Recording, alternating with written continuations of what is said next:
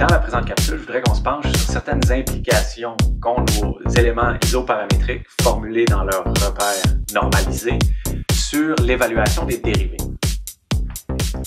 Euh, on a, euh, à, l'aide de nos fonctions d'interpolation ou nos fonctions d'essai NI, on peut euh, s'en servir pour venir interpoler une fonction. C'est-à-dire que si on considère un scalaire, un scalaire phi quelconque, qui est évalué à chacun de nos nœuds, bien, on peut venir l'évaluer partout dans notre élément à l'aide de nos fonctions d'interpolation. Première implication, première chose, c'est qu'on va tout de suite se rendre compte que si par exemple on a euh, une fonction qui est constante partout dans notre élément, donc aux quatre nœuds qui a une valeur constante, euh, ben, il va falloir que euh, si on a quatre fois une constante ici, il va falloir que phi soit phi de xi eta soit une constante. Et donc pour que euh, phi de xi eta soit une constante lorsque les quatre phi i sont constants, mais il va falloir que nos quatre fonctions ni, euh, lorsqu'additionnées ensemble, donnent bien 1. Parce que euh, autrement, ben, euh, cette égalité-là serait pas vraie. Donc, euh, à, prime abord, il faut que la somme de nos quatre fonctions d'essai, ou plus, si on utilise des éléments euh, quadratiques euh, ou d'ordre plus élevé, euh, il faut que la somme de nos fonctions d'essai donne toujours 1. Ensuite, si on considère notre scalaire ici, notre fonction scalaire phi, et puis qu'on s'intéresse à ses dérivés. par exemple, si phi, c'est la température, et puis on s'intéresse euh, au, au, gradient de température en espace. Ou d'une autre façon, si phi, c'est euh, notre champ de déplacement, euh, ben on peut s'intéresser à la dérivée du champ de déplacement, qui serait dans ce cas-là la déformation. Euh, donc, en mécanique, il va, il avoir beaucoup, on va avoir beaucoup d'intérêt pour les dérivés des, des quantités.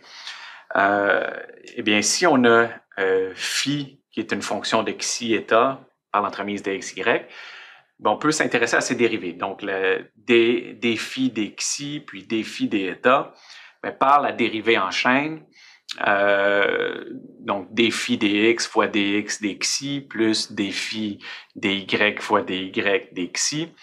Euh, bon, on est capable en fait de venir réexprimer ça sous la forme d'une matrice de d, dx, des xi, des y, des xi, euh, multipliée par euh, nos dérivés de phi par rapport à x et par rapport à y. Et puis cette matrice-là, qu'est-ce que c'est? Ben, c'est notre matrice jacobienne. Donc, on est capable de passer euh, des dérivés en x et en y de notre scalaire phi euh, à des dérivés en xi et à eta à l'aide de notre euh, matrice jacobienne. Donc, on peut faire le passage dans ce sens-là. Et puis, si on inverse notre matrice jacobienne, on peut faire le passage dans l'autre sens. Donc, typiquement, on va venir évaluer notre fonction phi euh, en, fonction de xi et eta. Et donc, on va pouvoir venir l'évaluer en fonction de nos vraies coordonnées à l'aide de l'inverse de la matrice jacobienne. Par exemple, si on a un élément bilinéaire, quadrilatéral, on va avoir sa matrice jacobienne qui est donnée comme ça ici. Et puis, euh, les coordonnées euh, dans notre élément, on va être capable de les trouver euh, de faire la paire entre xi eta et xy en venant interpoler les coordonnées.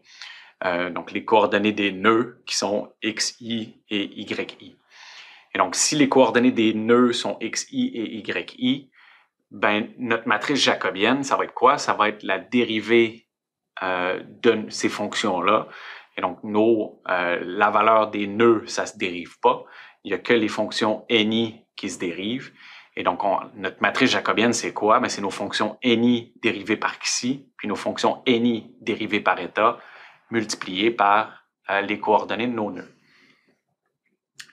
Pour notre élément bilinéaire, on avait les fonctions d'essai suivantes qui respectaient euh, notre delta de Kronecker.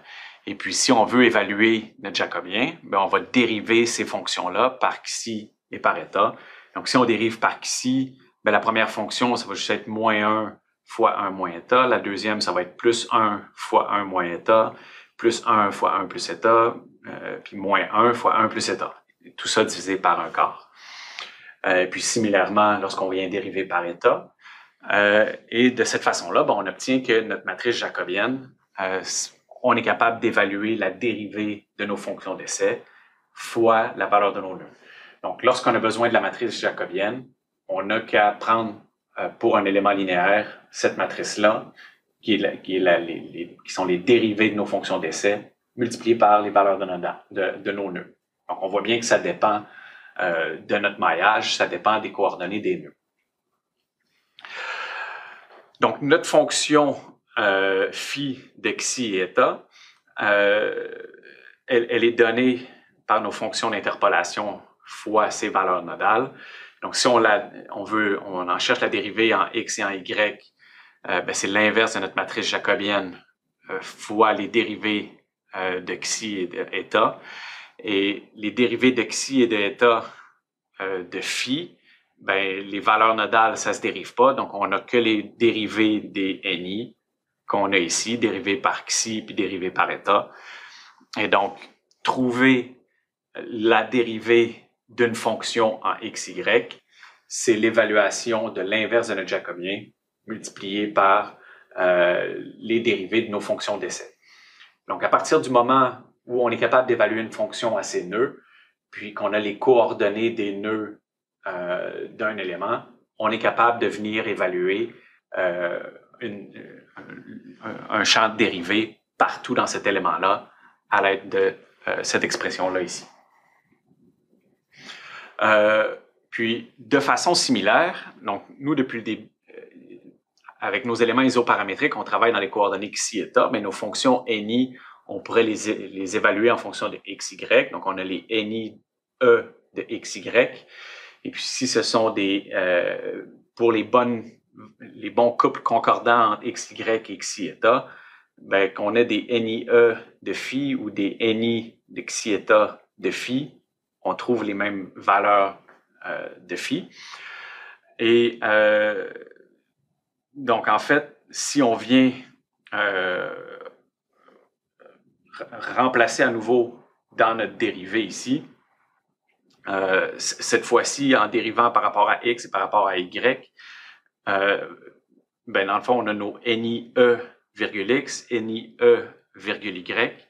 Et puis, si on compare avec l'expression qu'on avait avant, ben, en comparant ça, ce qu'on se rend compte, c'est que la dérivée de nos fonctions d'essai, NIE virgule x puis NIE virgule y, on peut l'obtenir en dérivant nos fonctions NI par xi et eta et puis en multipliant par l'inverse de notre jacobien.